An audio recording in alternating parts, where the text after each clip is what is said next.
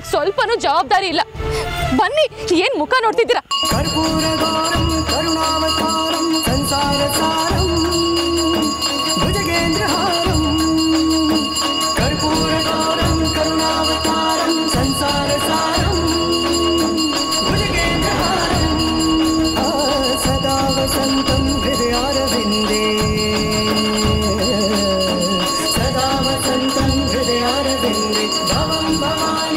ಮಾಡ್ತಾನಿಲ್ಲ. ಮತ್ತಿನ್ ಯಾರು ಪೂಜೆ ಮಾಡ್ತಿದಾರ?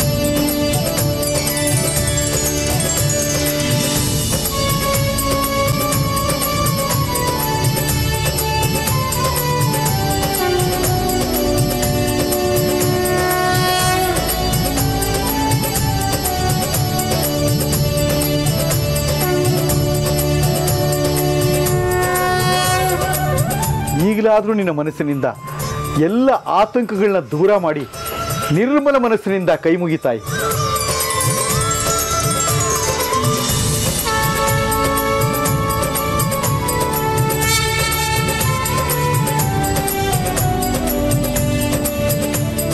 ಏನು ಶಿವಣ್ಣ ಇದು? ಬುದ್ಧಿಗಳು ಮಟ್ಟಲ್ಲಿ ಇಲ್ವಲ್ಲ? ಅವ್ರು ಮಾಡೋ ಕೆಲಸ ಅಲ್ಲ ನಾನು ಮಾಡ್ತಾ ಇದ್ದೀನಿ.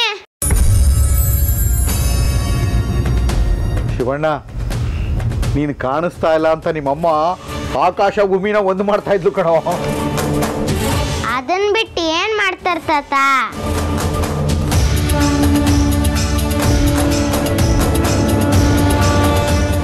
ರೇವತಿ ಅವರೇ ನಾನು ಹೇಳಿಲ್ವಾ ನೀವು ಸುಮ್ಮನೆ ಆತಂಕ ಪಡ್ತಾ ಇದ್ರಿ. ಇವಾಗ ಸಮಾಧಾನ ಆಯ್ತಾ? ಈಗ ನನಗೊಂದು ಅರ್ಥ ಆಯ್ತು. ಏನು ಅರ್ಥ ಆಯ್ತು ಚಾಮ್ರ? ನಮ್ಮ ಶ್ರೀಮಠಕ್ಕೆ ಉತ್ತರಾಧಿಕಾರಿ ಹುಡುಕೋ ಅವಶ್ಯಕತೆನೇ ಇಲ್ಲ. ಯಾಕಂದ್ರೆ ನಮ್ಮ ಶಿವಣ್ಣನೇ ಉತ್ತರಾಧಿಕಾರಿ ಅಂತ.